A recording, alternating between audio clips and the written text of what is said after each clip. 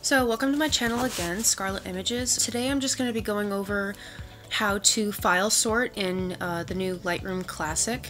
Um, I don't believe that they had this before when I was checking on uh, forums previously. I don't think this was an option.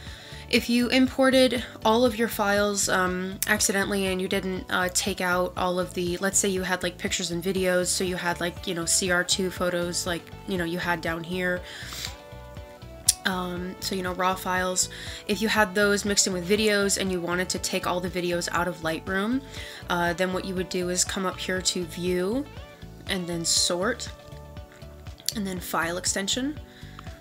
And so here then you would see I'm just gonna move myself. Um, here then you would see all of the raw files are all the way up here. I'm being moved around a little bit all the all the TIFFs are now all the way down here. These are the ones that I have already edited. So here you see we have all of the TIFFs at the end. Um, if you had MP4s, so you know if you had any videos, they would also be at the end over here. Um, now, of course, uh, Lightroom is always going to keep two of the same photos uh, next to each other. So if you had one like this one I finished in uh, Photoshop, it's always going to keep this original next to the one that I had in Lightroom before I put it through Photoshop. You know, did like frequency separation on it and things of that nature.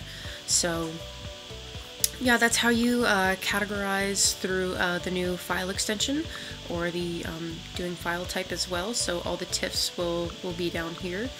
Um, and or your MP4s and so you could just easily select them through holding down shift to select multiple and then you can delete all your MP4s over here if you if you have them over here so um, please like and subscribe and um, I'll see you in the next video